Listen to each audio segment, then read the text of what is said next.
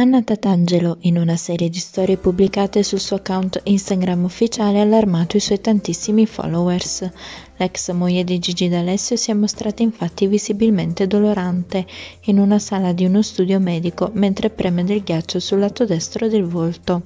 Quello che è realmente successo lo spiega la stessa cantante in alcune stories successive. La cantante di Sora infatti ha dovuto affrontare il dolore abbastanza comune incontro con i denti del giudizio da estrarre. Lo scrive la stessa Tatangelo, estrazione del dente del giudizio, tutto chiaramente si è risolto per il meglio, anche se la cantante ha attraversato una giornata decisamente dolorosa. Ha spiegato ai suoi tantissimi fan che ritornerà più presto al lavoro. Se il video vi è piaciuto iscrivetevi al canale, attivate la campanella e lasciate un like di supporto.